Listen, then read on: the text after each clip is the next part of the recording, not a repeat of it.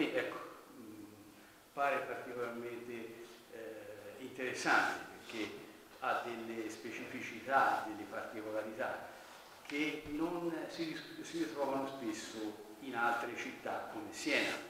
Io parlo, mi, mi limito al contesto eh, regionale, però ecco appunto queste specificità, queste particolarità eh, sono particolarmente interessanti e aprono anche delle prospettive eh, in, base alle quali insomma, si può veramente girare per Siena eh, con altri occhi e questo è un po' anche l'obiettivo no?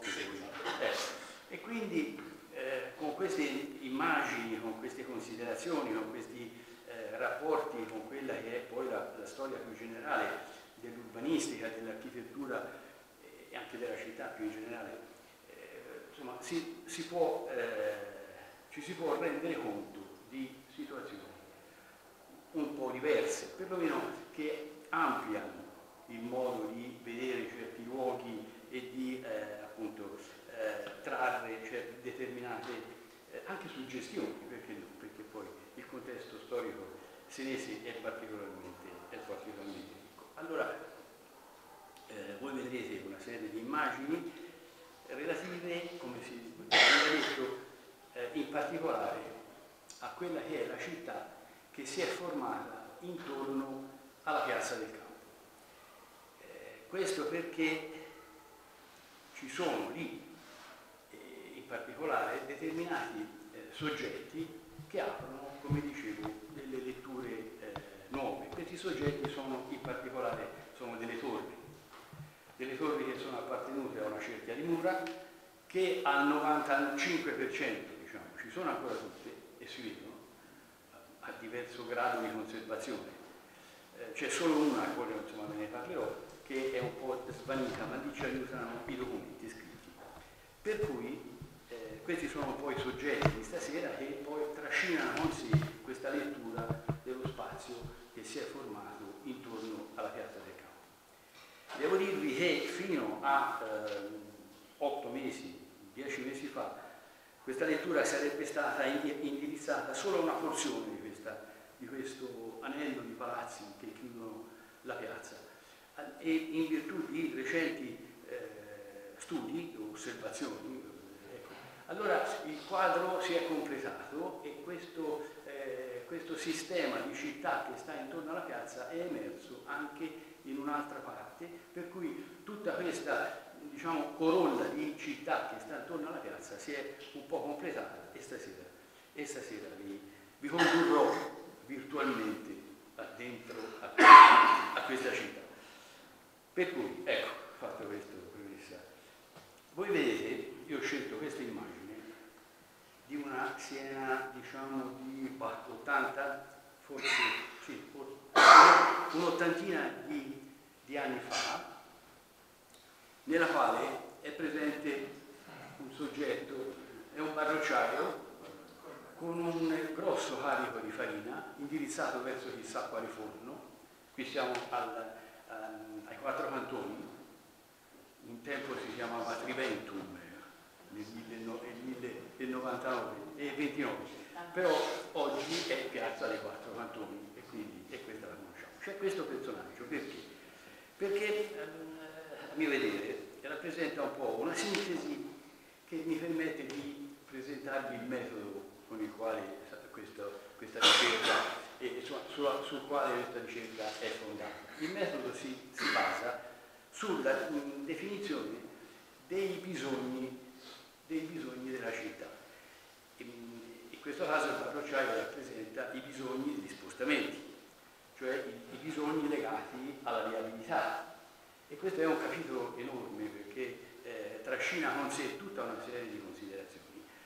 E quindi lui rappresenta eh, una componente di questo mondo legato alla viabilità. È una viabilità che sopravvive, e per questo è bella questa immagine, che sopravvive rispetto ai suoi tempi che gli stanno cambiando in maniera radicale, perché lui si accorge che questa città eh, è cambiata. Per esempio, vedete, in alto c'è la, la linea elettrica del Filobus, che la città lungo le strade principali dal nord-est, insomma qui da quattro cantoni per dire fino a Porta Camollina, era servita dal filobus.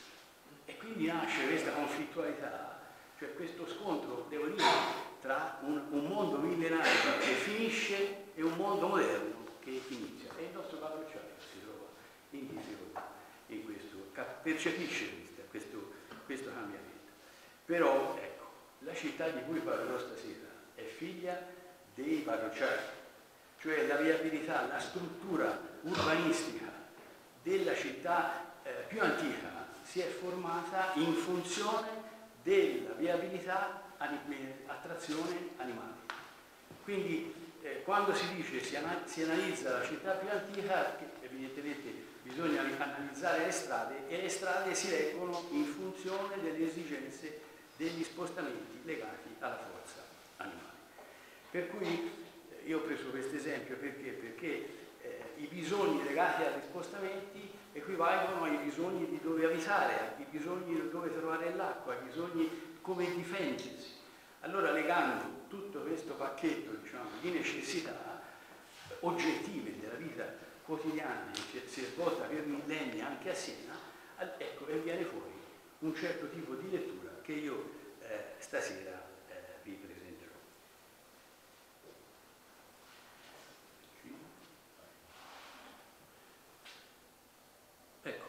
Questa, questa è una cartina di Siena dove i colori identificano le, le varie aree della città che si sono formate nel corso, diciamo in questo caso possiamo dire addirittura di oltre 1500 anni. Quello che ora io vi sto, ecco, vi indico, questo perimetro qui, eh, questo, ecco, tutto, scusate, questo qui che poi si, si, perde ma in ogni modo è il perimetro dell'ultima cerchia di mura che qui si vede in, in, in parte, ecco, questo è il perimetro complessivo. Queste campiture di colore invece corrispondono a certe stagioni della città. E, e eh, si parte da queste verdi, vedete, questi tasselli verdi, qui siamo, qui siamo di nuovo nel luogo del Barrocciaio, cioè ai quattro cantoni, e eh, questo è l'altro piano del Duomo, questo qui è l'area di Castelvecchio, questi due eh, rettangoli che vedete verdi sono le impronte di due castra romani, uno qui nella Tartuca, siamo tra via Tommaso Pendola ehm, e, e, la, e la, le mura qui lungo qui ecco, in questo punto eh, lungo via Tito Sarrocchi e quindi un primo castrum, un, un secondo castrum nel piano della cattedrale dove ora c'è piazza Jacopo della Percia quindi due entità fortificate che si pongono nella scala diciamo gerarchica ai primi posti non sono la prima cerchia del mura ma sono già entità fortificate riconducibili al periodo eh, questo eh, era probabilmente di epoca repubblicana e questo di epoca eh, imperiale. Poi vedete queste zone gialle, questo è Castelvecchio, qui siamo a Canegatto, qui siamo davanti alla cattedrale, qui siamo, questa è Rocca Salimbeni e qui c'è un'area fortificata autonoma, questa gialla. Un'altra la troviamo a Porta Camonia. Queste sono delle eh, aree che in, eh, in eh, in una analisi sequenziale dei fatti storici, dei, dei processi di formazione, eccetera, queste sono riconducibili alle prime forme di eh, insediamento protetto da mura riconducibili già nella fase in cui eh, anche Siena fu investita dalle guerre del, nel periodo ostrogoto e quindi siamo in presenza delle prime forme di, eh, diciamo, di, forme di eh, città protette. Però quello che mi preme eh, sottolineare è il fatto che, come vedete, questi sistemi gialli sono sistemi urbani dove con molta probabilità la popolazione si è ristretta, quindi si è concentrata, si è dotata di mura e quindi formano un sistema diffuso di spazi urbani. Saranno le siene di cui ci parlano i documenti? Non lo so. Il fatto è che oggettivamente siamo in presenza di sistemi protetti che appunto comprendono certamente Castelvecchio, ma poi, come vi dicevo, ne comprendono, ne comprendono altri. Quindi queste sono le prime cellule formative intorno alle quali poi la città progressivamente si è dilatata, le ha raggiunte, le ha assorbite, le ha metabolizzate, le ha trasformate. Meno male qualcosa c'è rimasto e questo ci nella lettura di quei, frammenti di cui, parlava, di cui si parlava, prima. Per cui, ecco, a queste zone gialle corrisponde, vedete, questa zona azzurra, qui, qui siamo alla costarella dei Barbieri, stasera la citerò spesso, ci, ci passeremo spesso da qui. Eh, poi qui siamo sotto il Duomo, questa è via dei Fusari, qui siamo davanti alla cattedrale, qui siamo di nuovo ai quattro cantoni qui alla, a, siamo alla porta di Stalloregio, le due porte, e, e, questa zona azzurra che vedete, un,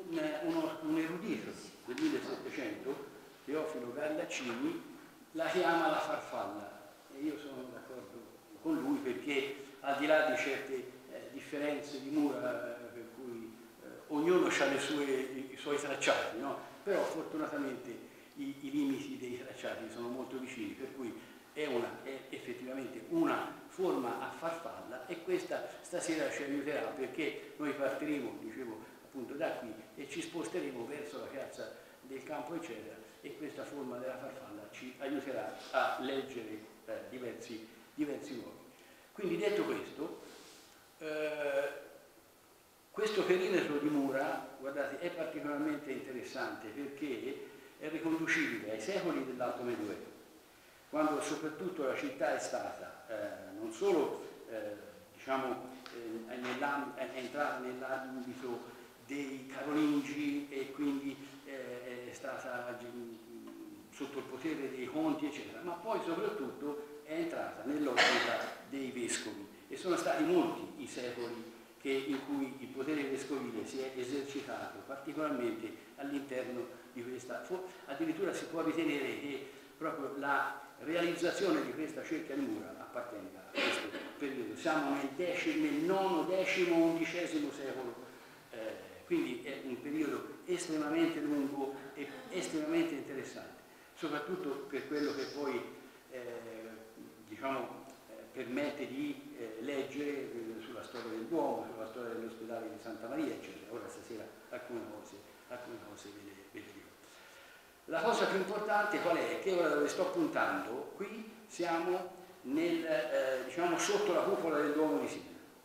Questo tassello che vedete oscuro eh, è una sintesi estrema di un incastellamento eh, di epoca longobarda sul quale la cattedrale di Siena si è adagiata, quindi ha funzionato come un, diciamo, una sottostruttura e, e questa sottostruttura ha condizionato poi tutti gli sviluppi architettonici delle varie cattedrali che su questo e intorno a questo luogo si sono succedute nel corso di vari, di vari secoli. Quindi è, un, è una, un, argomento, io stasera non lo tratterò, però l'ho voluto introdurre perché, perché in, voi vedete che insieme a questo eh, quadrato scuro ce ne sono altri che si diciamo, sviluppano fino a Porta Camollia investono la zona qui, eh, qui siamo in piazza, eh, in piazza Tolomei, investono anche la zona qua dell'archivio di Stato, Palazzo Piccolomini, poi eh, via, del, del, via San Agostino Bandini, insomma il poggio di San Donato e, e quindi arrivano, come dicevo, a verso Porta Camonia. Queste macchie scure sono anche questi uno dei temi di eh, stasera perché costituiscono delle mh, forme di casamenti, di eh, incastellamenti, di rocche di cui quella che più conosciamo è la rocca eh, Salimbeni, che ora vi sto eh, indicando. E su questo ora ritorneremo. Poi eh, c'è una fase, ed è quella in particolare di cui vi ho accennato all'inizio, di notevole interesse, nella quale la città dei Vescovi, questa azzurra che vedete, si salda, e questo è il caso di dirlo, attraverso delle cerchie di mura, dei tratti di mura che ora io sto seguendo, e poi rappresentano un po' questa parte scura, questa, oh, stasera guardate, noi siamo esattamente qui, alle mie spalle, davanti a voi, c'è un tratto di queste mura che furono eh, realizzate, ora vi dirò meglio quando e. Quindi c'è questa eh, struttura di saldatura che parte dalla costarella dei Barbieri, per essere più preciso parte da dove oggi abbiamo la farmacia Il Campo, in piazza del Campo, parte lì e ritorna poco prima, in questo punto, si chiude, poco prima della, della salita della piaggia della morte. Siamo sotto la mh, chiesa di San Desiderio, dove facevano i ristoranti. Questo punto qui che vi sto indicando è un tratto urbano di 42-43 metri, è un punto di saldatura dove la città si chiude e si congiunge alla città dei vescovi. Un tratto estremamente eh, sottile, che, che cosa possa denunziare questo? Forse una diffidenza. Il fatto è che questo, in questo corridoio avvengono fatti di grandissimo interesse, ora stasera li accenderò. Quindi eh, all'interno di questa zona grigia vengono comprese queste strutture di carattere, eh, come vi dicevo, questi, questi veri e propri castellamenti, questi casamenti che hanno i loro nomi appartengono alle grandi casate senesi, ne vedremo una stasera in maniera in particolare, eh, che non è quella dei Sanimbeni, ma sarà quella dei Tolomei, esattamente questa, e, e che costituiscono quella particolarità, quella specificità che si riscontra a Siena, leggendo i muri, leggendo le, le piazze, andando nelle cantine o salendo in cima uh, ai tetti, insomma osservando la città in maniera, in maniera come dire, il più possibile analitica, ma soprattutto da un punto di vista fisico. Per cui, per cui continuando questa sintesi, voi vedete che c'è poi una, una, zona più campita, più rossa, che è questa che vi indico, questa qui, che si chiude in questo punto, ed un'altra Ebbene, questa eh, parte della città viene racchiusa da queste mura nei primissimi anni del 1200. La città è non più amministrata dai consoli, ma viene amministrata dai primi podestà. E non lo so se Bartolomeo Rinaldino, il podestà a cui attribuire questo progetto di espansione urbanistica, importantissimo, guardate, perché? perché nella prima fase che vi ho accennato prima, questo arco di, di mura che va dalla Costarella dei Barbieri fino al Palazzo Piccolomini, che ora potremmo anche chiamare la Rocca Piccolomini,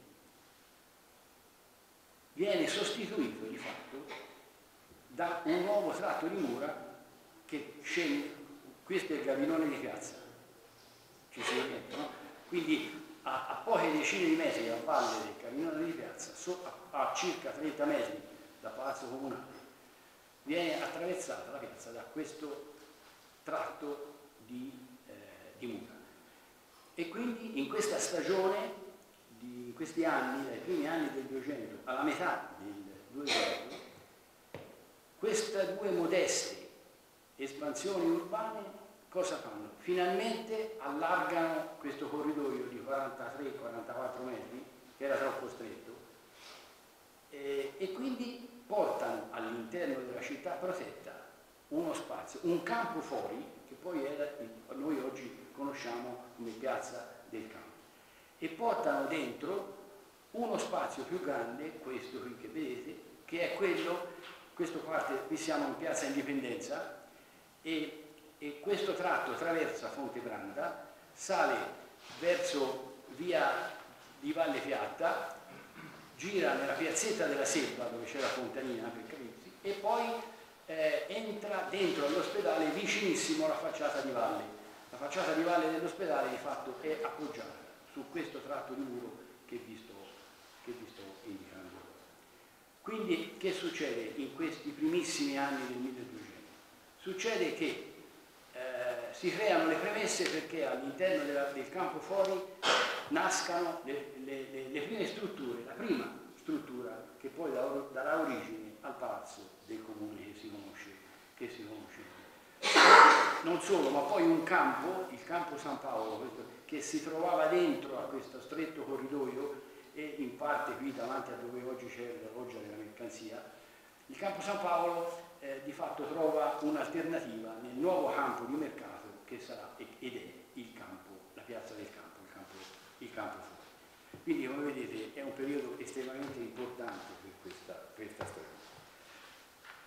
Uh, non vi impressionate adesso sto molto su questa immagine perché questa poi ci aiuta a leggere in maniera più veloce le sintesi grafiche che seguono. Per cui, ecco, eh, a questa stagione siamo nella metà del 1200, siamo primi, pochi anni prima della battaglia di Montaperti, i, i podestà, i nuovi podestà, eh, realizzano questa cerchia di mura, scendono nelle vallate, inglobano il poggio di Canegatto, di, di San Maurizio, vedete qui siamo a Porta Ovile, salgono eh, verso, eh, qui c'è via Domminzoni, salgono, ecco qui, salgono verso e si collegano, qui siamo vicinissimi al Campanzi e, e qui abbiamo la porta di eh, Guaitano.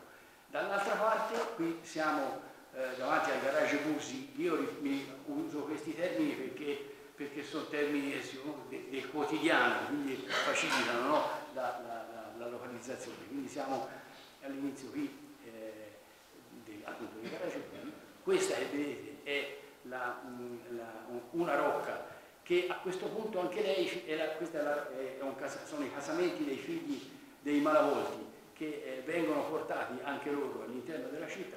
Qui siamo a Porta Fontebranda, il bastione del Costone e poi qui nella piazzetta della Selva la congiunzione di questa cerchia di mura. Eh, questa area protetta ha un respiro, una modernità che le altre aree protette non avevano.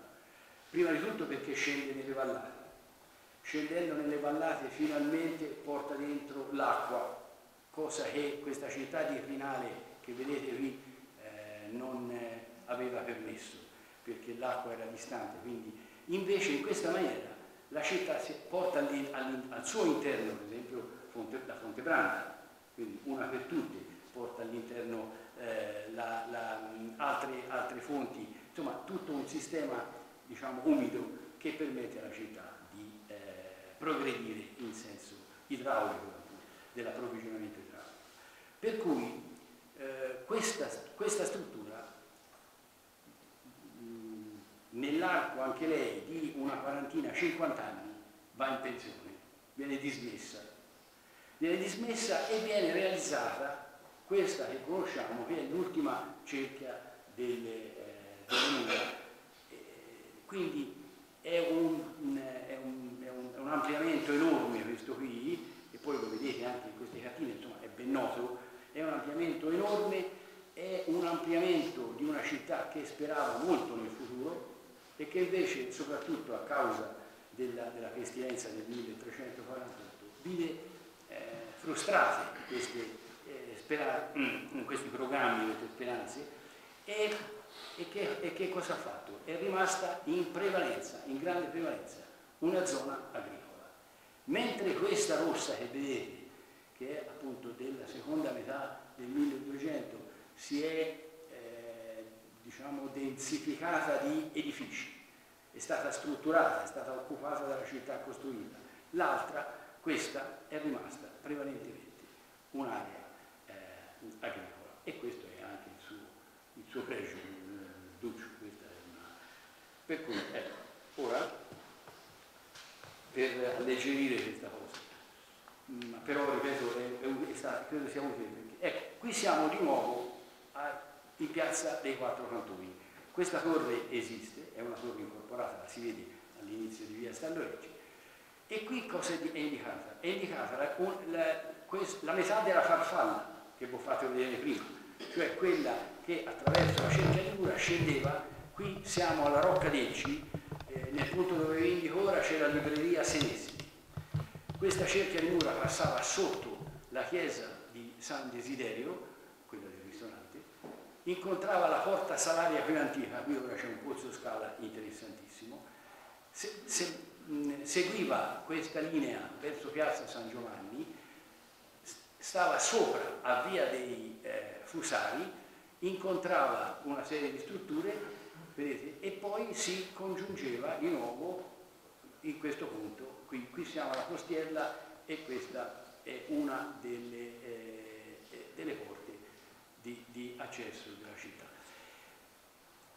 Perché questa città? Perché ho voluto? Mm, perché qui ci sono delle indicazioni fondamentali Intanto, vedete, questa cerchia di mura e soprattutto questa torre qui, questa è la torre del palazzo Marescotti, Chigi, dove c'era la Chigiana, anche questa la ritroveremo. Eh, poi le altre, queste qui, sono lungo via di città fino ad arrivare a questa, appunto, della eh, Rocca Decci, dove questa città alto medievale terminava. Per cui la zona qui, del, eh, diciamo questa sella, la Coscarella dei Barbieri che è qui, era ancora esterna alla città. E c'era naturalmente una strada che scendeva verso Fonte Branda, ora qui mi dispiace che non si vede, non si vede la, la, la, fonte, ma insomma in questa zona c'era Fonte Branda. Questa è la via del Costone, che a un certo punto oggi è interrotta, ma aveva la sua continuità, qui ho questa via di Valle Chiatta, poi qui c'è la via del Pozzo e questa che vi indico ora è via dei Fusari, che passava, vedete, qui sotto, questa strada c'è anche ora, è la famosa strada interna dell'ospedale Santa Maria della Scala, trovava questa zona qui con la porta di Sant'Anzano e veniva alla porta della costiera in questo punto. In questo punto. Una cosa che vi voglio dire, città ha delle sue caratteristiche che oggi non esistono più. L'unica cosa che è individuabile è questa cupola che se ne sta sotto la cupola del Duomo.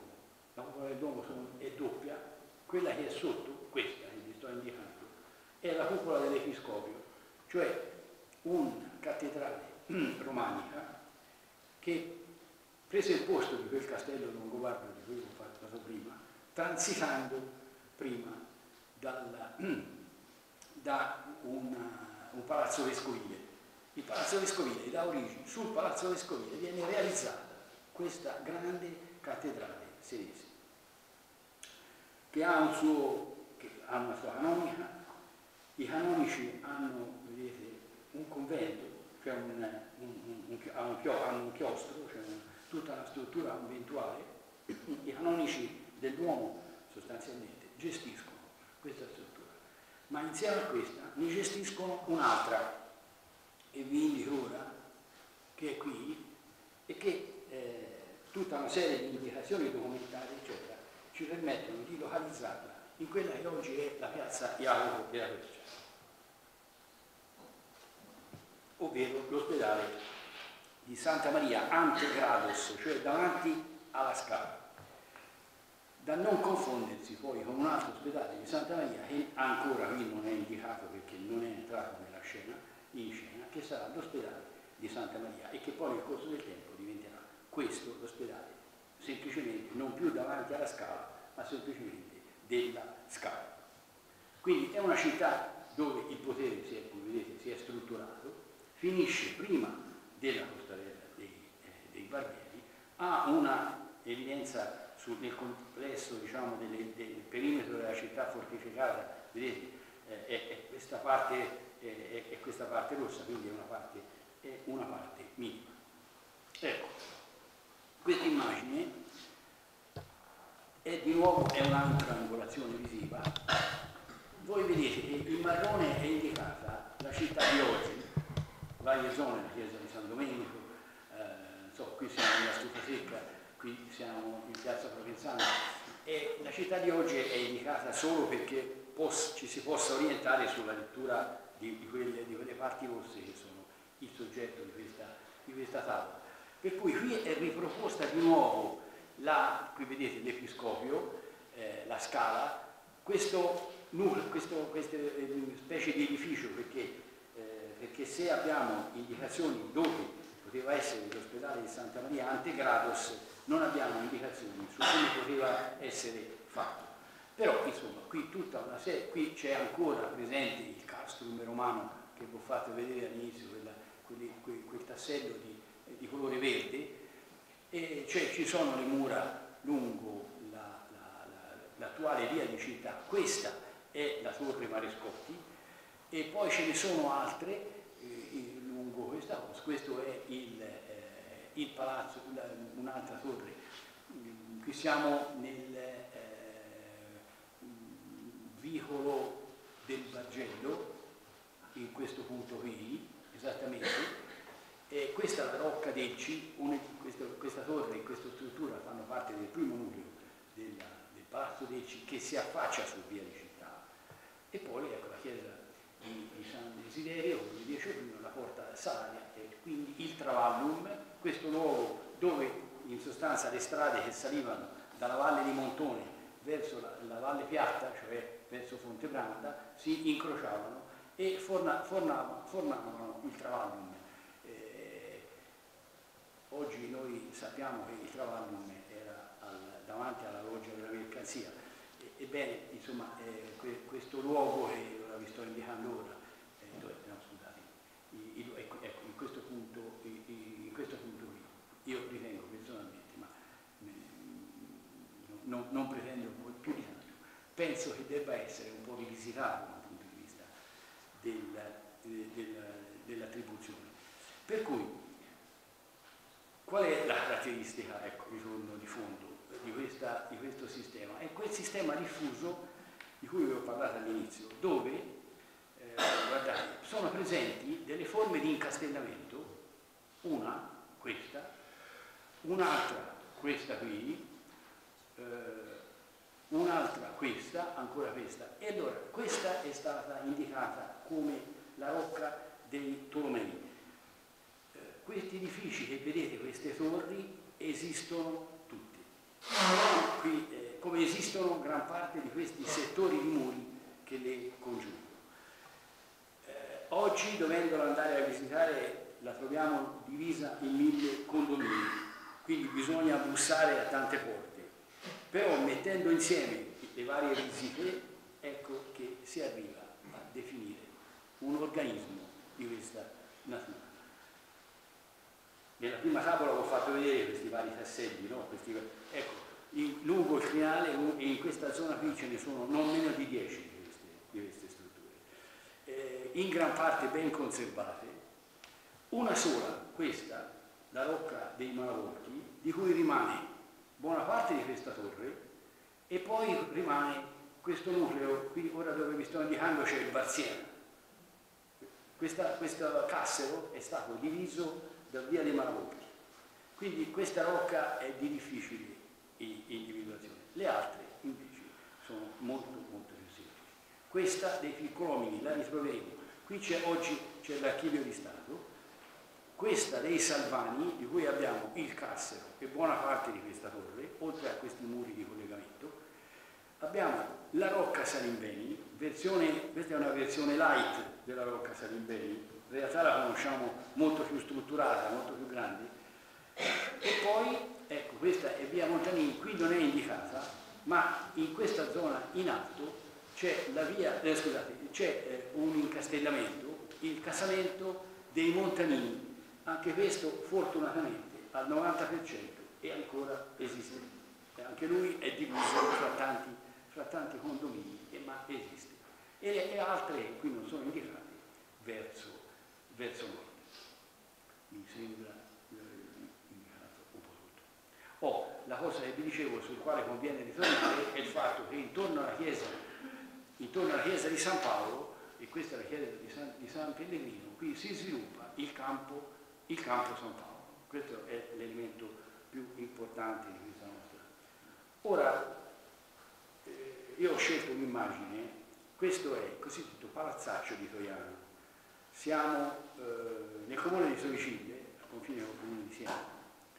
È un edificio documento di grandissima importanza, perché è arrivato fortunosamente a noi quasi integro. Io l'ho scelto perché se noi ci dovessimo immaginare quelle rocche di cui ho parlato, quella di Tolomei, sulla quale poi ora ritorneremo, come potevano essere fatte queste rocche, che tipo di emergenza potessero aver avuto nei confronti della città no? che gli stava intorno, allora eh, l'effetto lo possiamo paragonare, possiamo prendere in prestito il palazzaccio di Troiano e paragonarlo a, a questa incombenza volumetrica, architettonica di, queste, di, questi incastellamenti rispetto alla loro, alla loro città. Eh, oltretutto non solo ci sono delle analogie di tipo architettonico, per esempio questo cassero qua su che vedete, ecco, questo cassero qui, questo cassero qui se voi aveste modo di visitarlo eh, è sorretto al centro, alla base qua giù, da un pilastro, da un unico pilastro al centro, che poi regge con delle volte a ombrello tutto il resto dell'edificio. Ed è un magazzino. È un magazzino come questo tipo di magazzino si ritrova in gran parte di quelle rocche di cui vi ho parlato. Nella Rocca Salimbeni c'è un magazzino, c'era, è stato votato purtroppo, però c'era un magazzino uguale a questo. In altre rocche di quelle ce ne sono altri. È una tipologia che si ripete, per cui questo esempio è utilissimo per eh, eh in, maniera, in, qualche modo figurarsi questa eh, realtà urbana di una Siena, guardate, qui mh, bisogna anche stabilire quando. Qui siamo, penso, negli anni, nei primi eh, secoli dello scorso millennio, cioè siamo nel 1000, siamo nel 1100, siamo in una città che appunto ancora non le ha raggiunte, non le ha raggiunte, sono entità separate. Ecco, guarda, qui questa foto non so se è chiara, qui si vede la, la torre che, no, ora però esagerato, ecco, in alto vedete è la, la cosiddetta torre dell'Orsa, quella che guarda piazza Indipendenza. E qui la ritrovate su questo eh, questa selezione grafica, eccola qui, vedete, e poi la ritroviamo anche qui. Questa è la chiesa di San Paolo, la chiesa di San, di San Pellegrino, eccetera. Questo grafico intermedio vuole simulare una situazione nella quale quelli che qui vedete i tetti, eccetera, eh, potessero essere eh, paragonati ad una eh, invasione di sabbia, cioè dire come se questa città eh, se i tetti fossero sostituiti da una, eh, una colmata di, di, sabbia, dalla quale eh, potessero essere, cioè, si potessero leggere, come si leggono nella foto, determinati edifici. Questa torre, questo edificio, vedete, che poi sostanzialmente eccolo qua. Vedete? Questo è, eh, era quello più alto, allo stesso modo del palazzaccio di Troiano è sorretto ancora oggi da un pilastro centrale che regge poi a un certo punto, con delle volte a, a ombrello, tutto il resto del, dell'edificio. Quindi può capire l'importanza del, del palazzaccio di Troiano inteso come modello di, eh, di riferimento.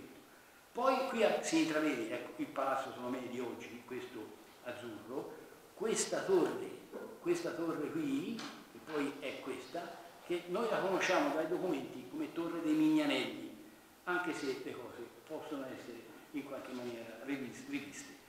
Poi abbiamo altri, eh, ecco, questa torre qui, poi la vediamo, la vediamo, eh, la vediamo male, eccola qua, questa, questa eh, fa parte del complesso degli edifici della Banca, eh, della banca d'Italia, no, scusate, della Banca mh, mm, in, in, Via delle Terme, in Via dei Termini, eh, la banca, la, il Banco di Roma, grazie. E anche questa esiste. Ora, in questo edificio in questo disegno in basso è, è diciamo, simulata la situazione in cui il vento avesse portato via tutta questa massa di sabbia che ricopriva l'immagine precedente e quindi avesse permesso di scoprire questa città che sta sotto e insieme a queste strutture. Per cui abbiamo qui, ecco, qui siamo a quella che diciamo oggi la croce del travaglio, qui c'è un negozio di abbigliamento eh, intimo, questa è la torre dei terzi, qui siamo esattamente nell'ingresso del ristorante I Terzi. Qui invece c'è un, un, piccolo negozio di oreficeria, siamo in via dei termini. Qui ci sono i termini, i famosi, famosi, la divisione in terzi della, della città. Questo è la, è la, questa è la versione originaria del palazzo dei Tolomei che aveva anche una sua torre, questa c'è rimasta ma bisogna scendere giù nel cavò gentilmente. È, è, è stato permesso e quindi, e quindi eh, questa torre si vede ancora.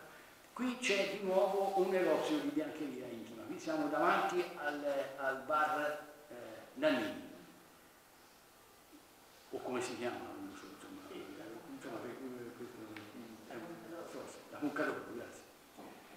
E quindi tutto questo insieme che voi vedete è un'entità reale. Io ho chiamato, l'ho chiamata eh, Rocca dei Tolomei perché, perché poi nei documenti, eh, soprattutto nell'estimo del 1318, noi vediamo che gran parte di questa città che è intorno e dentro a questa struttura è di proprietà dei Tolomei. Qui siamo molti secoli prima, però, però la presenza storica di questa famiglia, la sua continuità nelle vicende storiche della, de, di sé. E quindi soprattutto questo estimo del 1318 ci dice che qui c'era una densità elevatissima ancora di proprietà dei Tolomei, anche se si può ritenere che già a quel tempo si è cominciata questo effetto diciamo, di separazione delle parti, di disgregazione di questa, di questa, di questa struttura, che poi ha, continu ha continuato anche anni dopo, a, si è dilatata ulteriormente verso, verso me.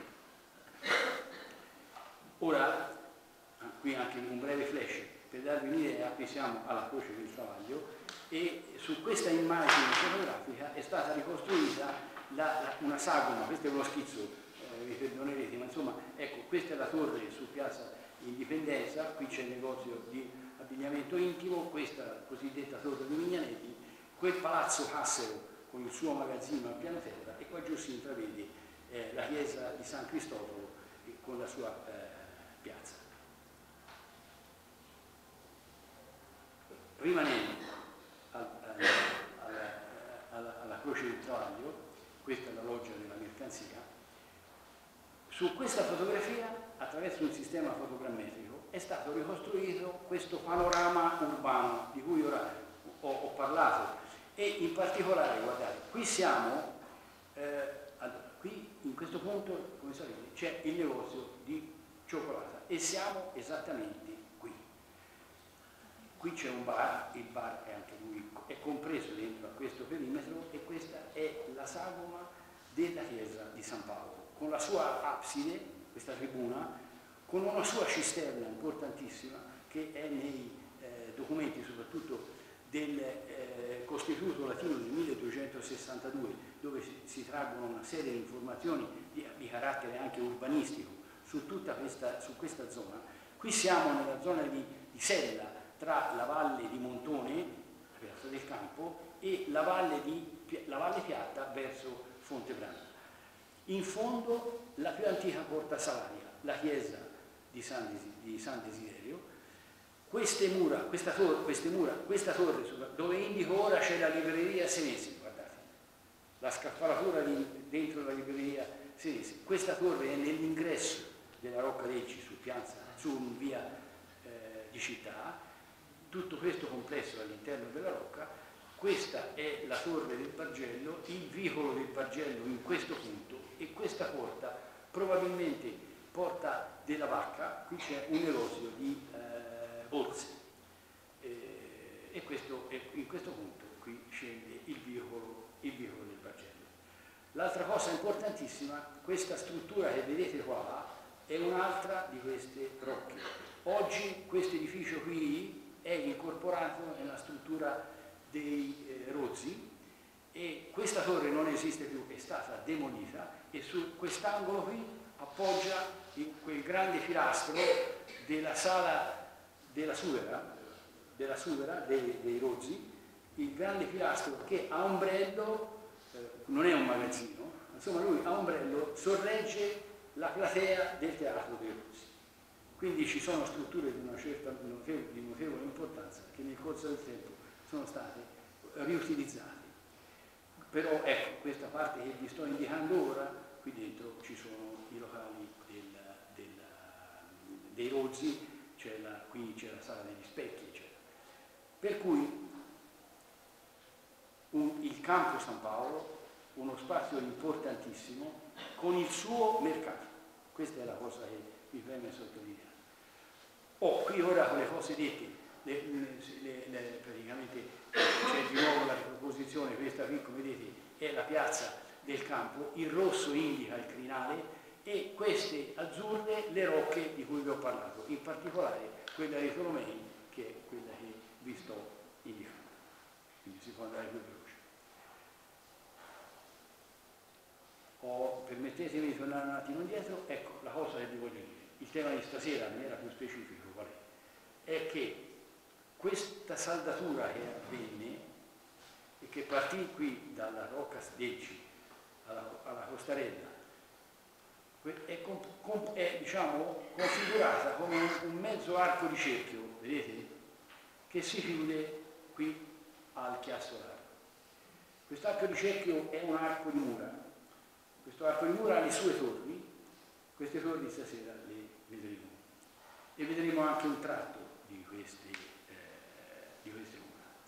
Qui c'è uno schema, una specie di, di vedete, di, è un disegno di, in sovraimpressione dove abbiamo la costarella, abbiamo la, eh, la prima torre che la, i documenti ci, la identificano come la torre a Carigi, palazzo a Carigi, qui la, eh, la, la torre la Rocca Ecci, questa è quella del Bargello, questa invece è eh, quella del, del, eh, che i documenti ci indicano come la torre dei figli di testa, è ancora il costituto del 1262 che ci dice che ci dà la presenza. Devo dire questa torre, malgrado le ricerche fatte anche nei sotterranei, eccetera, ci è rimasto ben poco.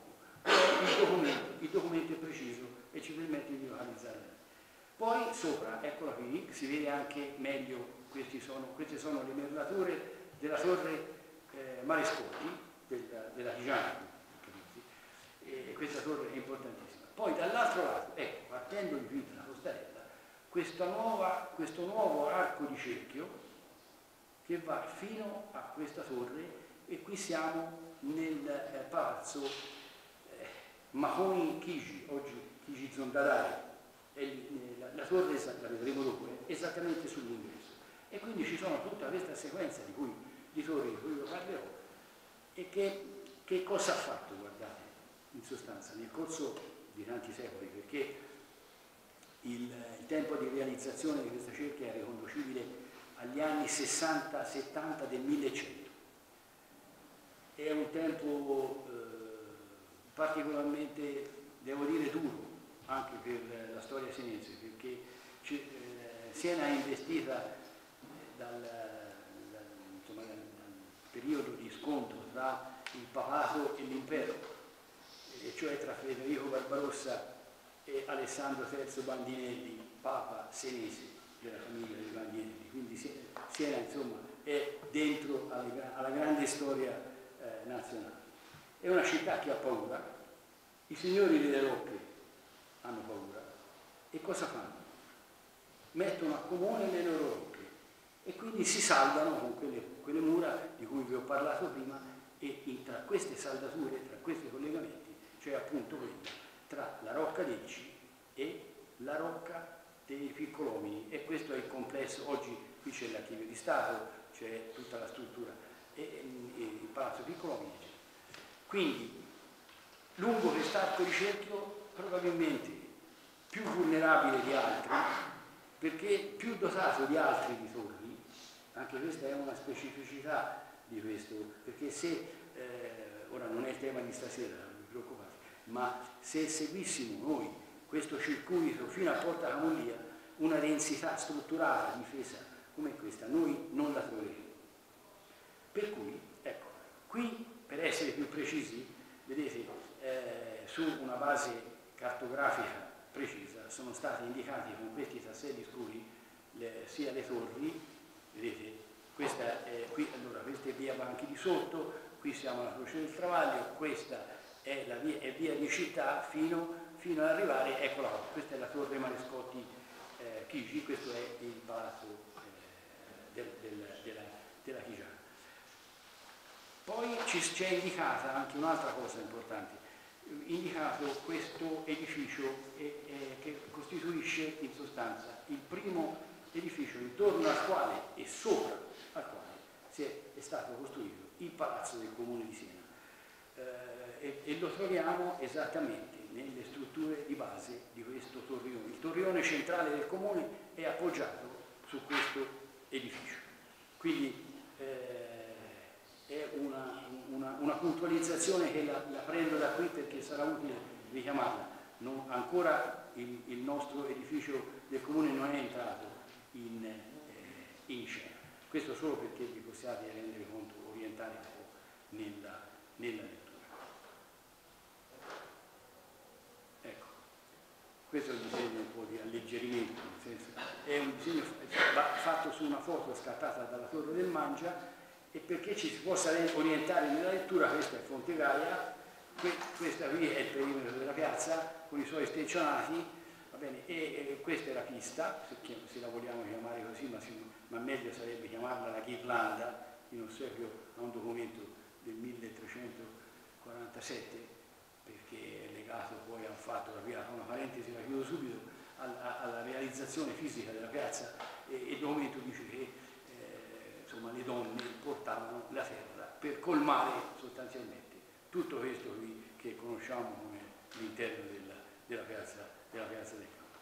Per cui, allora ecco, vedete, qui c'è indicata eh, in maniera molto essenziale questa cerchia di mura partendo, partendo, da questa torre che vi dicevo appartiene al palazzo, oggi al palazzo Ligi ma era Maconi, questa torre dentro il palazzo San Simoni, le vedremo, poi questa linea Anconetani, questa purtroppo non la vedremo perché mi è saltata un'immagine, ma vi posso dire che qui c'è il vicolo dei Borsellari che scende da via Banchi di Sotto in Piazza del Campo, questo per, per potersi orientare. C'è un negozio di, no, di, di eh, biancheria all'interno di questa, di questa, di questa torre. Poi abbiamo questa, invece siamo, io l'ho indicata come Saracini, ma i documenti non ci, non ci permettono di indicare chi a un certo punto ha comprato questa torre. Qui però sappiamo, qui c'è il vicolo di San Pietro, quello che dalla Croce del Travaglio scende in piazza del Campo. Questa torre, eh, questa fortunatamente in buona parte è rimasta dentro il ristorante Il Mangia, qui c'è la cucina del ristorante Il Mangia e sopra c'è andata la, la, la loggia della mercanzia. La chiesa di San Paolo, di cui vi ho già parlato.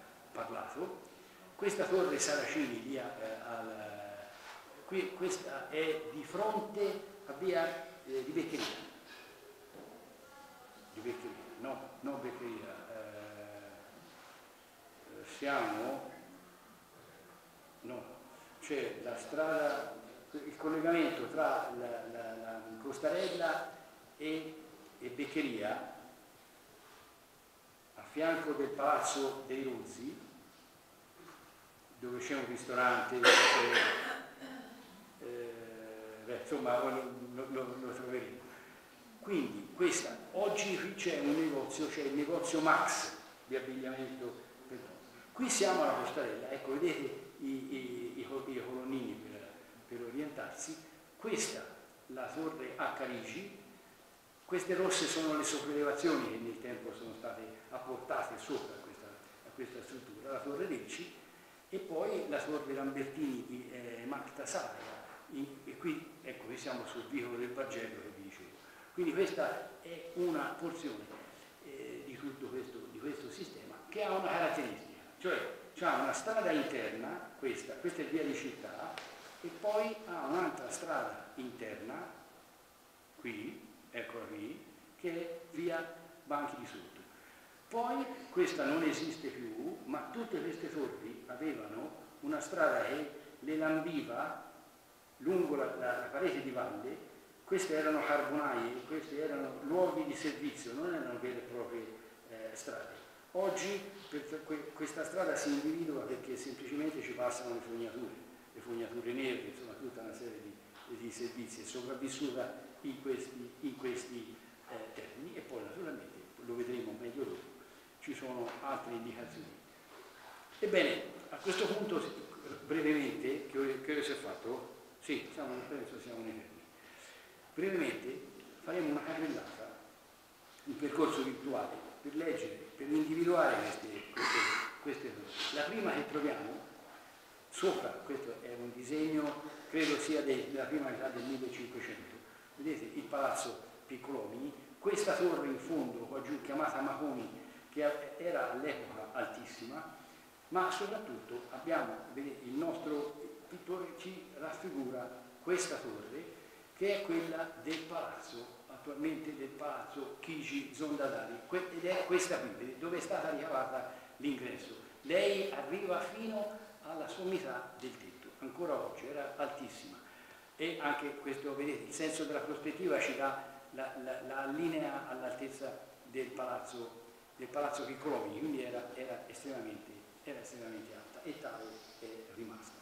Questa è la prima che incontriamo, poi incontriamo una sua gemella vicinissima, eccola qui, questo è, come sapete, il palazzo eh, San Sedoni, questo è l'ingresso del palazzo San Sedoni, la torre gemella di quella è questa del negozio Ricci.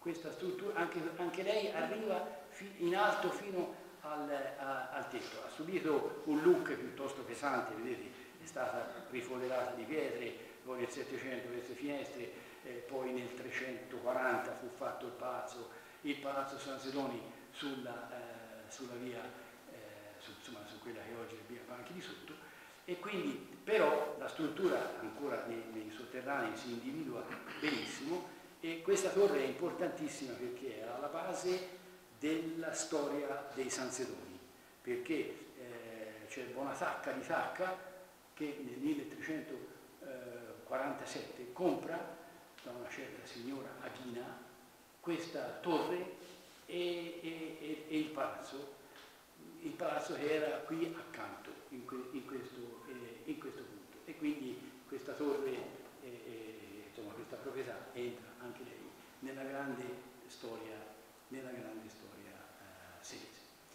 Quindi, quindi eh, ora io mi devo scusare perché in questo punto siamo all'inizio di via dei Porzellari e a questo punto c'è un'altra torre che qui purtroppo non si vede, comunque eh, cioè non si vede, l'ho saltata, però vi ho indicato qual era. Per cui, tornando un attimo sull'ingresso del palazzo San Sedoni, che poi è questo, vedete, questo è l'ingresso che è proprio sulla strada, ebbene eh, le ricerche che che sono state condotte portano a ritenere che noi siamo in presenza di una vera e propria porta di accesso dal campo verso l'interno della, della, città. Come si chiamasse? Non lo so, eh, è probabile che si chiamasse la porta di Marcucinata, perché da qui partiva la strada che poi entrava in Salicotto e, e che si chiamava eh, di, Mar, di Marcucinato, che confluiva poi a sua volta nell'attuale via di eh, Salicotto. Quindi qui è, questa è una struttura di grande, di grande interesse.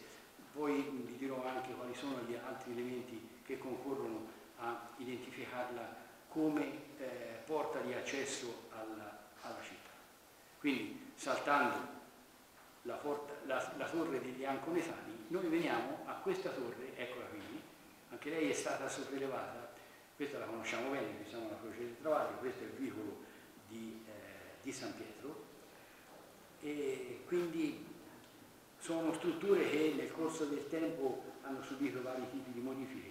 Devo dire che questa, se voi vi affacciate da qui e guardate questo spigolo che vi sto indicando, voi vedrete eh, una, un messaggio non troppo piacevole, nel senso che qui c'è una, una deformazione strutturale sensibilissima perché durante qualche terremoto, non so quale, forse quello del 1798, qui c'è stato un distacco nettissimo eh, da, tra la torre e questo, questa parete, vedete? E perché? Perché la torre era, è stata molto resistente, ha retto le oscillazioni, invece gli edifici di, diciamo, di, di sutura, che sono questi, eh, più labili, più deboli, eccetera, si sono staccati. E qui si vede bene, insomma si intravede l'immagine, no? Questo distacco sensibile. Questa notazione ho un altro luogo importantissimo, e su questo poi ci ritornerò anche, è, è il vicolo di San Paolo. Il vicolo di San Paolo, questa parete, di, questa parete che vi indico, è ricavata sopra a un'altra torre. Per costruire la loggia della mercanzia questa torre è stata demolita e da qui in poi è stato costruito tutto questo loggiato che conosciamo, che conosciamo bene. Per trovare i, i, i, fondamenti della struttura bisogna andare qua sotto, e cioè nella cucina del ristorante il, il Maggio. Come si chiamasse questa torre io non lo so. Eh, ci sono delle indicazioni che permetterebbero di identificarla come la eh, fantomatica torre di, di, Roccabruna, questo nome un po' esotico, un po', però, però può, essere, può essere anche che sia stata che sia stata quella la torre. Certo è che è una torre di grandissimo interesse. Dopo vedremo. Oh, a pochi metri di distanza incontriamo la torre davanti al vicolo di Beccheria, no, non è Beccheria, eh, scusatemi, insomma qui, qui c'è questo vicolo e questo è il negozio Max, siamo alla Costarella. Anche questo ha subito forti, un fortissimo look, poi ha sentito che ci sono stati dei crolli notevoli, vedete le ghiere dell'archi, degli archi sono state tutte state rotte, le pietre riadoperate, eccetera. Quindi qui la città ha, ha, ha, non dico infierito, ma insomma, ha prodotto delle modifiche di una certa, di una certa importanza. Poi, ecco, qui siamo. In corrispondenza dei colonnini della Costarella, e vi, vi sto indicando, un altro è questo, altri due sono questi.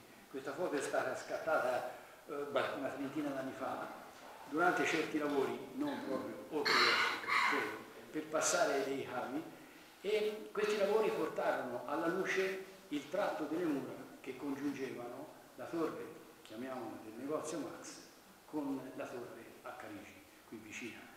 E, e qui vedete ci sono evidenti le strutture, questi, muri, questi muri, queste pietre enormi che appunto eh, rappresentano una delle testimonianze residuali, perché mentre, come vi dicevo, le torri ci sono quasi tutte, eh, le, i tratti delle mura sono entrati nel metabolismo dei palazzi e qui fortunosamente riemersero durante, durante questi, questi lavori. Eccola qui i nostri colonnini, quindi la, le mura passavano qui sotto, sicuramente erano più alte, qui la città era chiusa e questa è la torre a Carigi, anche lei sopraelevata da questo punto in poi, quindi può darsi che l'altezza originale di queste torri sia stata all'incirca, all'incirca questa. E qui comincia via di città, la torre a Carigi è, è questa, qua sotto ad una profondità di non meno di 5 metri c'è il retrobottega della farmacia Il Campo, ovvero una delle porte delle porte di accesso a questa città, dal campo fuori all'interno di, eh, di, di questa città.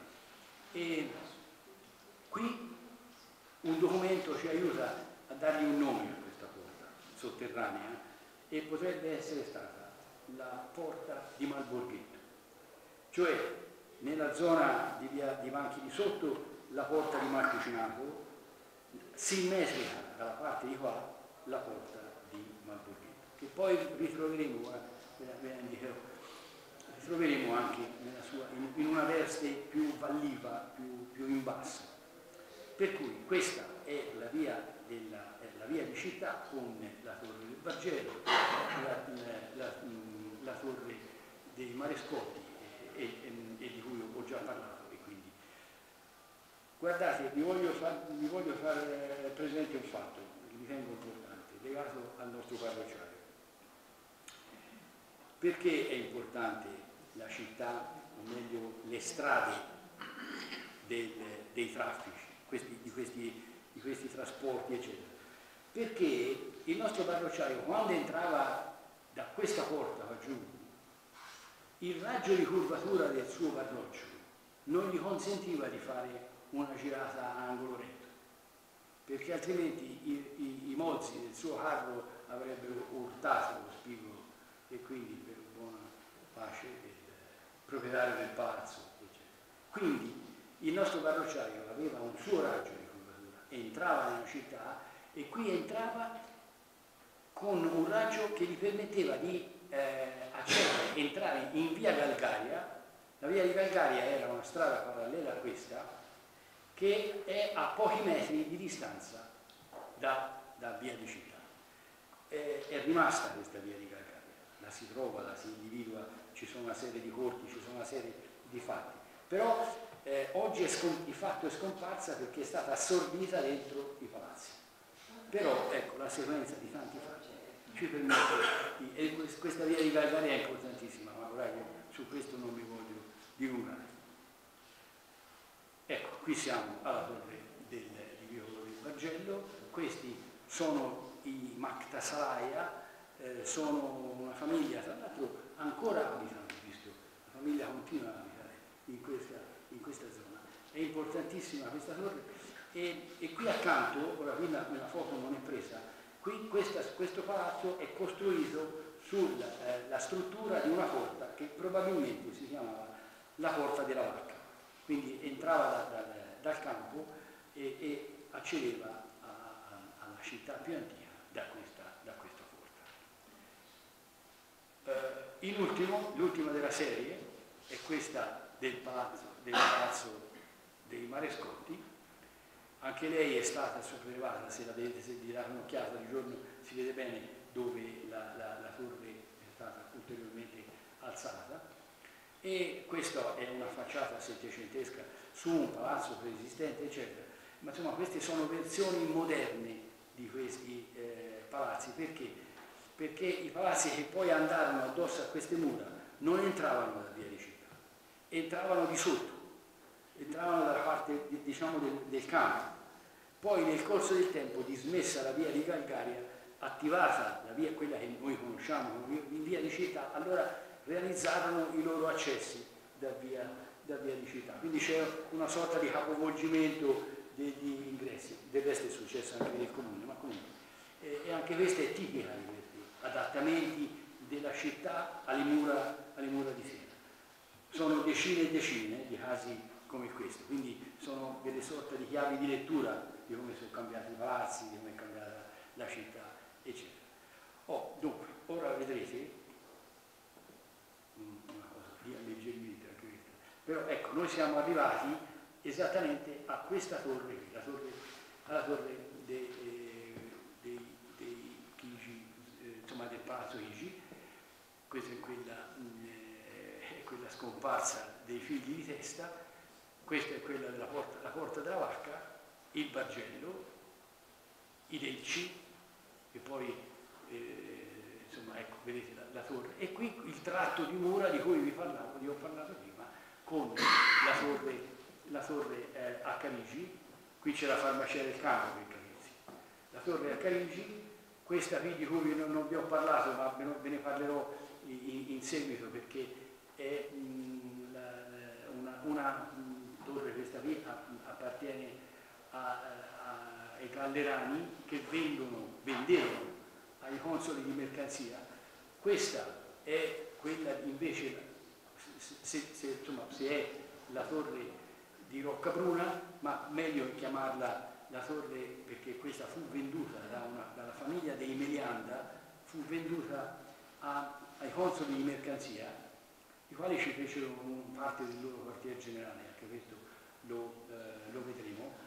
Eh, Melianda è una famiglia che, potente che venderono appunto ai consoli tutto questo, questo pezzo di muro e, e, e, questa, e, questa torre. Poi, ecco, questa è la torre di San Pietro, qui c'è il vicolo di San Pietro, questa è quella degli Anconetani, la porta del Palazzo San Sedoni, ora immagino, avendo visto le foto, vi, vi, vi orientate meglio, questa è quella del eh, San Sedoni, perché sono due in sostanza, e questa è quella del Palazzo Chigi. Tutta questa struttura terminava in questo complesso. Ora il disegno è, è del 2014, è una versione un po' eh, carica perché questo edificio entrerà in un secondo momento nella, in, in, questo raggruppamento di, di, torri e palazzi. Però ecco, la, la, in, gran parte, tutta, oltretutto queste strutture esistono anche ancora oggi. Qui sopra c'è andato l'archivio, l'archivio di Stato. Poi le mura continuavano, eh, eccetera, eccetera, queste ve l'ho, già, ve già eh, indicato. Quindi, ecco,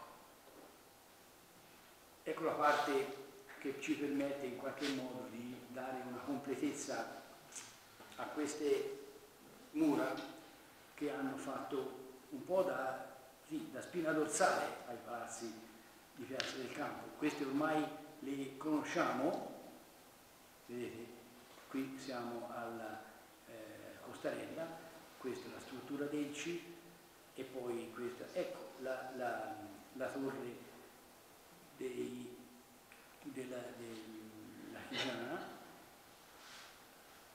E cosa accade? Qui ho riportato anche di nuovo una farineria della città, questa è la farfalla del Gallaccini vi dicevo prima, questi sono quei due ampliamenti della, della città. E qui siamo nei primissimi anni del 1200. Da pochi anni sono, si sono insediati, i consoli sono stati sostituiti dai podestà. E il fatto più diciamo, evidente di questo passaggio qual è? È che il campo San Paolo i 42 metri che separavano le mura più antiche, questi, qui alla Costarella, essendo uno spazio troppo angusto, troppo stretto, inducono a questo ampliamento della città che cosa fa? Che porta dentro il campo fuori, scusate il gioco di parole, ma è così, all'interno della città viene portato quel campo fuori che diventerà la piazza del campo.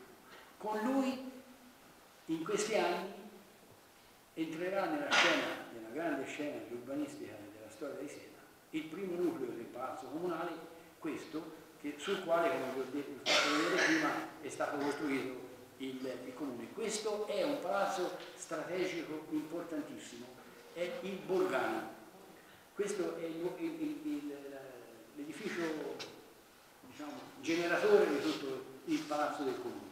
In questo punto venivano battute le monete perché da pochi decenni finalmente Siena è, è, è autorizzata a battere moneta e questo produce un incremento nell'economia complessiva del, del comune notevolissimo e poi a fianco in questo punto qui c'erano invece i magazzini, i, scusate, i locali della dogana. Quindi la dogana e, il, eh, e la zecca e questa fucina dove si battono le monete rappresentano un edificio strategico importantissimo per la politica e l'economia del comune e a quel punto, a, a, eh, prima ancora di realizzare il programma, viene realizzata questa nuova cerchia di mura che congiunge il Palazzo Piccolomino, l'archivio di Stato, cioè, con il, il luogo qui vicinissimo al, alla torre Marescotti. Questo è, una, è, una, è, un tratto di mura che sopravvive in, in, in vari punti che presenta due porte, una ancora esistente, tra l'altro bellissima, che ha le stesse dimensioni, però diviso due, della porta romana. Era fatta come porta romana, Ora, qui nel disegno non c'è mai, Porta Romana qui perché non, è, è, stato individuato dopo. E questa aveva un rivellino come Porta Romana, un antiporto. E, e le misure sono esattamente identiche, il, il, il, rapporto è esattamente quello della, della, della, della, della forma, esattamente quello di Porta Romana.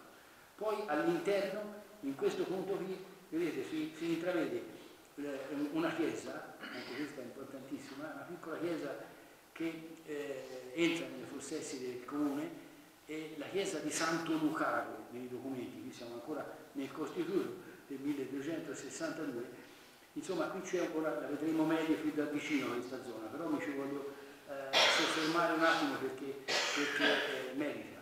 Questa zona sotto il Bolgano sarà eh, una zona in, in chiave per tutto quello accadrà poi per, nella, nelle vicende costruttive del, del, palazzo. La cosa sostanziale è ecco, che queste mura, ad esempio qui ci verrà appoggiato tutto l'edificio dove c'è il teatro, dove, so, dove c'erano le, le, le, prigioni del comune, la sala del consiglio, tutto il palazzo che oggi è il teatro dei, dei rinnovati. Queste mura salivano il casato e venivano a trovare appunto, questa zona vicina al, al a Palazzo Igi e al tempo stesso, sempre di colore verde, vedete, è riportato il secondo ampliamento, cioè questo, qui è rosso, ma insomma la forma è la stessa, vedete, ecco, questo, questo nuovo perimetro di mura che fortunatamente, mentre per il primo, per questo, la sua individuazione è più ardua perché si vedono meno, bisogna entrare in determinati luoghi, eccetera questo perimetro qui è più, è più evidente. Qui guardate ci sono una serie di porte, questa è su via, è, è, sulla Galluzza, esiste quasi tutta, questa è una seconda porta indicata come la porta di Valle Piatta di sotto e qui davanti c'è la stalla della contrada della Selva, siamo nel vicolo delle carrozze. Sì, via delle carrozze. E questo è il vicolo delle carrozze, questo punto di lato, quindi le mura fanno questo giro, qui siamo in via di Valle Piatta, queste mura trovavano una, una torre che in, buona parte c'è anche oggi, una porta, la porta di San Sebastiano, la quale porta dove vi sto indicando c'è l'ingresso della eh, società della contrada della Silva e questo rivellino, qui è invece indicato, qui c'è la sala bar della società della contrada della Silva. Questo per dirvi come queste strutture sono rimaste e sono identificate. Le mura continuavano, anche queste ci sono, questo, anche questo tratto esiste, que, qui c'è un tratto che non esiste più, però c'è una parete tagliata che sovrasta la fontanina della contrada della Selva, siamo in piazzetta della Selva, non so se l'avete presente, c'è, un muro tagliato a scarpa, sono le mura che poi continuano dentro la facciata dell'ospedale di Santa Maria della Scala, questa torre, eccetera. Quindi, eh, ripeto, queste mura entrano in scena nei primi anni del 1200, alla metà del secolo con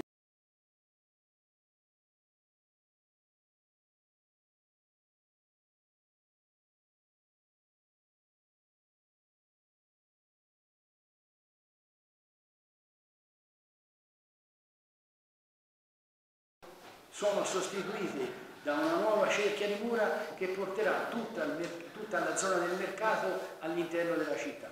Siamo in via del Sole, siamo eh, sotto Salicotto, siamo fino poi per arrivare a, a, a, San Maurizio, per arrivare al ponte di Romana, ma quelle sono mura che, ripeto, entreranno in scena solo e sono queste, per capirsi, ecco, vedete, sono questi qua, però entreranno in scena solo alla metà del 200. Nei primi del 200 c'è proprio questo tratto di cui vi ho, vi ho parlato. Vi ho parlato, vi ho parlato. Ecco, questa è una riproposizione perché qui si vede ecco, il palazzo della, del, dell'archivio di Stato, queste mura sono qui dentro, guardate, fortunosamente, vedete questo edificio che vi sto indicando ora, un po' più chiaro. Questo è costruito sopra il rivellino della porta. La porta è questa. e poi sopraelevando la torre, ecco, la torre è questa qui ed è l'edificio più alto di tutti quelli che sovrastano la zona del Porrione, la zona, la zona qui della chiesa eh, di San Martino. Le mura scendevano, ecco il, il teatro che è appoggiato sul, su, queste, su, queste mura, su queste mura qui. Poi eh, questa porta che ho indicato di possibile di Malcucinato in derivazione dalla strada qui siamo nell'ingresso del Palazzo San Sidonio che abbiamo, che abbiamo visto prima quindi prima ancora di Saricotto per dire Malcucinato a un certo punto è stata questa va bene, ma, ancora, ma prima ecco che Malcucinato oggi noi sulla, sul prolungamento de, de, di questa strada troviamo il vicolo della fortuna. Quindi c'è una continuità, i nostri parrocciai dovevano avere strade più continue, più lineari possibili perché potessero, eh, si potessero muovere all'interno della città. Qui, qui si attraversa Piazza del Mercato, questo tratto non esiste più, come non esiste più quasi questa porta, se non la parete, questa parete chiamiamola di sinistra, eh, sì, di sinistra, e poi le mura che salgono verso il casato e si concludono vicinissime alla, alla, alla torre dei eh, marescotti che abbiamo, eh, che abbiamo, visto, dove si incontra una eh, particolarità che in qualche maniera ci rende più percettibile questo intervento, un intervento di una certa, insomma, di, un certo, eh, di una certa importanza, ripeto perché? Perché portò all'interno della città il, il campo fuori. Qui c'è un'altra cosa che voglio sottolineare, ormai queste sono le mura, le torri scusate, di cui abbiamo eh, parlato per arrivare qui alla, alla costarella e di fronte, ecco, un altro elemento che contribuisce a, a dare eh, consistenza a quella lettura della porta di, Mar, di Marco Cinato all'interno dell'ingresso del Palazzo San Sedone. Qual è? è la presenza di questa torre, la torre 7, e questa è eh, la torre di Serravalle. Questa torre esiste ancora integra, è stata restaurata in cima, eh, però è, esiste alta 26 metri e, e ci denunzia che cosa? Anche questo è un repertorio difensivo che caratterizza tanti punti di Siena. Che vuol dire? Che ci sono tante porte eh, che hanno davanti a sé una torre. E questa torre a che serviva? Serviva ai difensori della città a, a tirare le ultime sassate. A chi? A coloro che avessero forzato e sfondato la porta che era davanti alla, alla torre. È una sorta di estrema difesa, ma sono diversi i casi di torri come questa che si vedono, si possono eh, leggere proprio in funzione di questa di, loro, eh, di questo loro eh, scopo. Quindi ecco che questa zona di Serravalle è interessantissima, guardate, se non altro perché quando, ritornando un passo indietro, quando queste mura chiusero questa zona qua, la zona di eh, calzoleria, la zona di Piazza Tolomei, eccetera, questa zona qua, a differenza di altre di Siena, era ricchissima, come lo è anche oggi, di acqua. Qui ci sono una serie di pozzi che arrivano a tingere nelle, nelle falde freatiche, sono talmente profondi, per cui non è che, che sono cisterni, sono veri e propri eh, pozzi. E io l'ho indicati, ora qui no, ma insomma, scusate, e insomma, mm, sono presenti qui e sono estremamente interessanti, da soli occupano un argomento di grande, di grande interesse, specialmente in una città che si è dovuta ingegnare per trovare l'acqua quindi tutta una serie di vicissitudini. Oh, quindi, una, ripeto, non mi voglio, non mi voglio eh, dilungare, però un'altra, un'altra sottolineatura la voglio fare. Il Bolgano, che viene costruito nel 1246, quindi una quarantina d'anni dopo che le mura erano state realizzate, sostituì un'altra zecca, un altro ambiente dove veniva battuta moneta, che si trovava in quei 43 metri di cui vi ho parlato, tra la costarella dei Barbieri e la piaggia, e la piaggia della Monte. E qui eh, noi troviamo, io ho indicato il primo palazzo del comune perché i documenti ci forniscono delle indicazioni in merito ad un certo palazzo che viene comprato, sul quale viene fatta una torre chiamata la torre delle campane, questa torre esiste, questo palazzo esiste e fino a poco tempo fa questo palazzo era eh, a piano terreno, su via dei, dei, dei, dei pellegrini, era occupato da un negozio di scarpe per bambini. Oggi vendono acqua, non so se acqua, profumi, cose del genere. Ecco, ebbene, in quel palazzo, se lo, lo, lo guardate, possiamo individuare il primo palazzo del comune. Perché? Perché ancora, per quanto sia nei documenti, questo è semplicemente il Burgano, non è il palazzo del, del comune. E quindi eh, nel, siamo nella seconda metà del 200, il, il campo comincia a essere non solo uno spazio protetto, uno spazio strategico con le sue eh, funzioni, dovute proprio all'effetto protettivo di questa nuova cerchia di mura. Qui siamo eh, in, eh, un poco prima del palazzo dell'Accademia della, Chigiana, sulla via di città, questo è l'ingresso degli uffici tecnici del, del comune, qui c'è un vicolo strepitoso, bellissimo, che è figlio di questa, di questa mutazione.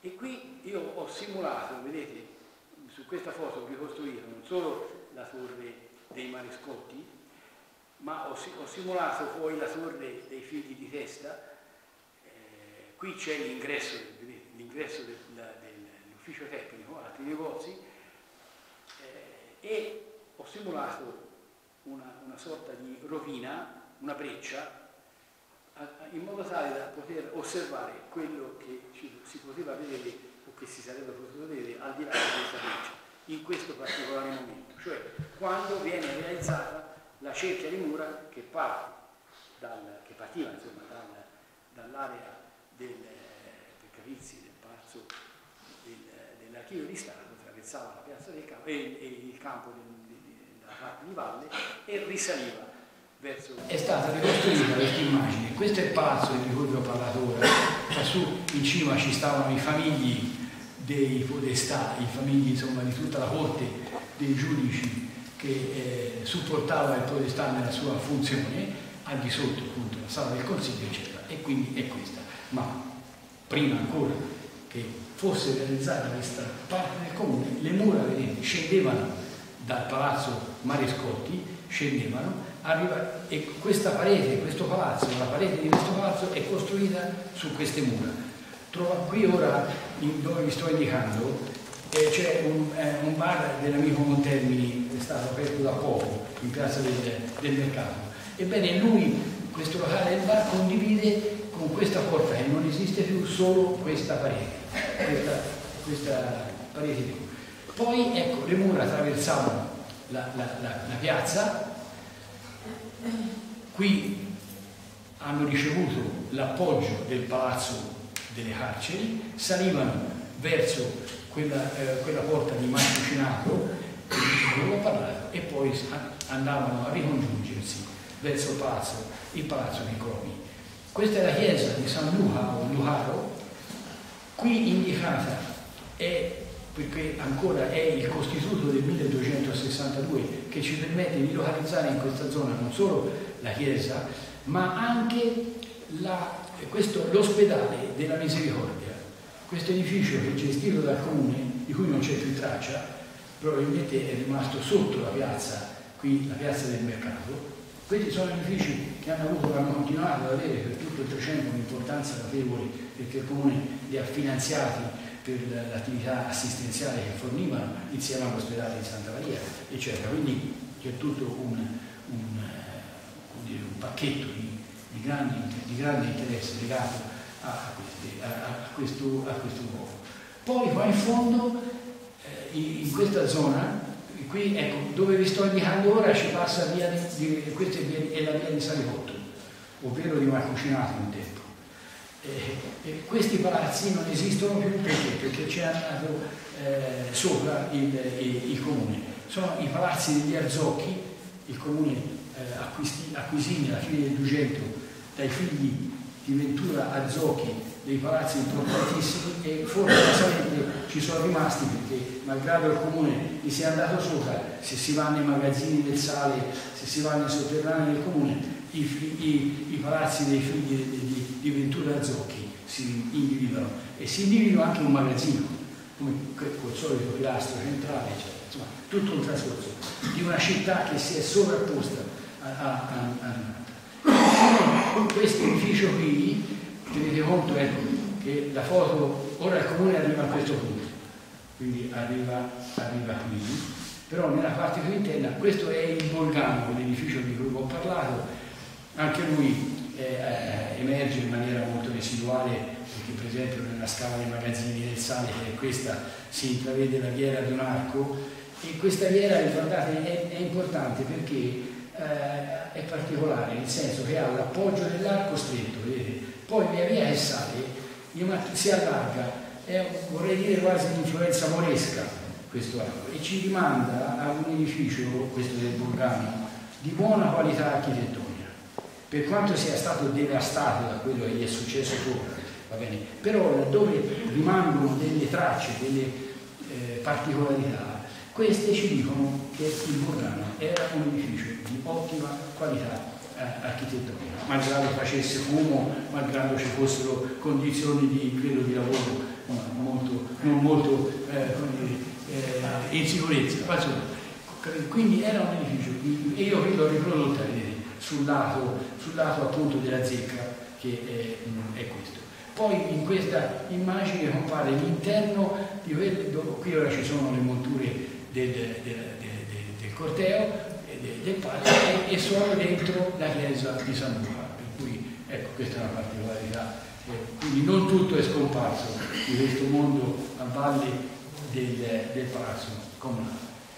Poi rapidamente a concludere quasi. Eh? Rapidamente a concludere, qui c'è un'immagine un, un, un, po' metafisica, nel senso che se queste mura ancora esistessero, se invece le avete demolite per fare via di, via di Marcucinato, cioè i Salicotti, se esistessero, le troveremo in, esattamente in questo punto, nella loro prosecuzione verso eh, l'archivio di Stato. Naturalmente poi non esistono più. Qui c'è una riproposizione invece di queste mura che salgono, questo è l'ipotetica porta di Marco Cinato, con, questa volta con il suo eh, rivellino, che è salita fino qua su, fino a comporre, come dicevo, l'edificio più alto di tutti. E cosa rimane? A, a, oltre, oltre, alla struttura della porta, visibile nei fondi di, questo palazzo, eh, rimane una traccia importantissima di una strada che l'ha servita. E questa strada, qui siamo alla Gruppa di San Martino, come vedete, eh, qui c'è un portone, qui è chiuso, ma se noi lo aprissimo entreremo in un corridoio e cioè entreremo lungo la strada, questa strada qui, che dal palazzo Calzedoni, vedete, entrava in questa porta e proseguiva qui in vicolo della fortuna. Quindi eh, questo è un, um, un luogo ancora sotto osservazione però, però gli elementi che sono emersi mi permettono di, di eh, parteciparvi di queste cose con un, eh, ritengo, un buon grado di sostenibilità. Ecco, qui c'è una riproposizione di nuovo, però eh, per quel, perché per, per, per avviarsi a concludere? Con le mura che abbiamo visto, l'ultima cerchia che portò dentro la piazza, comincia il processo di dismissione di questo arco, di questo arco che è stato l'oggetto del nostro viaggio. Queste torri sostanzialmente vengono dismesse, vanno in pensione. Ma, ma, ma in che modo? Cioè vanno in pensione negli interessi del comune, perché il comune che cosa fa? Lottizza, vende, apporziona, fraziona, vende eh, in genere eh, un pezzo di mura e una torre. Su queste mura ci vengono costruiti i primi edifici. E eh, ne abbiamo un esempio, per esempio qui nella Torre San Sedoni, il nostro Tacca di Monatacca compra da Aghina questa casa, compra un palazzo, un palazzo con una torre, con un pezzo di muro. Poi che cosa fa? Quella carbonaia di cui vi ho parlato, questa, viene sopravanzata, entra nel possesso dei Sansedoni e viene fatta una corte. Questa corte arriva fino al limite della piazza. Quindi questo è uno dei tanti frazionamenti a cui tutto questo arco di mura viene sottoposto. Un altro interessantissimo, e qui bisogna ringraziare Ambrogio Lorenzetti perché ci ha lasciato un documento strepitoso, perché nell'effetti del buon governo ci ha lasciato il palazzo, ci ha lasciato la torre lungo il vicolo di San Paolo che abbiamo visto prima, dove ora c'è raffigurato, vedete qui questo docente che fa lezione ai mercanti, qui oggi noi abbiamo la scala del vicolo di San Paolo che abbiamo visto prima. Quindi questa torre, forse di Roccapuna, ma sicuramente dei Medianda, viene acquisita dai consoli di mercanzia insieme a tutto questo palazzo fino a qui, escluso questa torre che rimane nei possessi dei Gallerani. Ora dentro al, al piede di questa torre, su via di città, davanti al negozio di cioccolati, c'è un piccolo bar che fa un ottimo caffè. Per, questo per capirsi perché bisogna, eh, eh, eh, e quindi siamo in questo punto. Eh, il, il, muso del cavallo che qui sparisce dietro l'angolo è davanti alla caffetteria. Per, cap- per, per quindi eh, nel 1338, quando Ambrogio Lorenzetti dipinge il suo buon governo, dipinge davvero, dipinge quello che vede. E cosa vede? Vede questa torre comprata da Emilianda, vede quest'arco con, i, i, i suoi, i, con il suo docente, vede questo palazzo che arriva fino al limite della piazza, eccolo qui, e questo si vede in piazza campo. E lui, insieme a questo dei San Sedoni, costituiranno un altro palazzo che forse dei San che esiste. E, qui c'è il capirsi, costituiscono il limite lungo il quale si fermeranno i palazzi che andranno a comporre la grande quinta che oggi si affaccia sulla piazza del campo. Qui siamo in una fase nascente, siamo cioè nel periodo, nella eh, prima metà del 200, in cui appunto il comune per fare cassa, perché per così vendendo quelle porzioni di mura fa cassa e può realizzare altre cerchie eh, e diventa una partita di, una partita di quindi questo, ecco, questo per dirvi.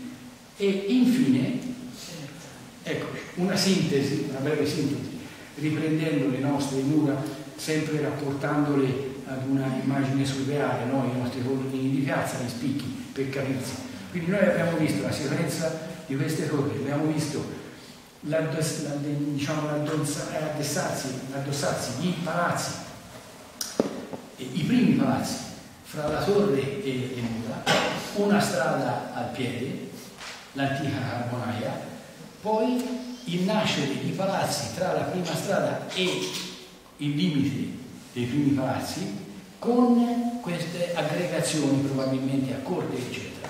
E infine quella che conosciamo noi questa saldatura e questa integrazione di case, vicoli eccetera eccetera che poi costituisce appunto questa, la grande quinta che chiude l'arco della piazza del campo a nord. E che ha dentro di sé tutta una serie di eh, documenti, di messaggi, di fatti che se letti nella loro singolarità ci permettono un po' di ricondurre questa um, lettura in maniera un po' più... Mi auguro ecco, che queste cose che vi ho, a cui che vi ho partecipato vi permettano di vedere un po' questa, la grande vita della, della piazza del campo con occhi eh, un po' diversi. Io vi ringrazio per l'attenzione, vi ringrazio per l'opportunità, ringrazio Duccio nella sua veste eh, ufficiale e ringrazio l'amico Roberto Roge che con me ha condiviso spesso questi viaggi sopra e sotto e, e, e, quindi, e poi anche il suo apporto tecnico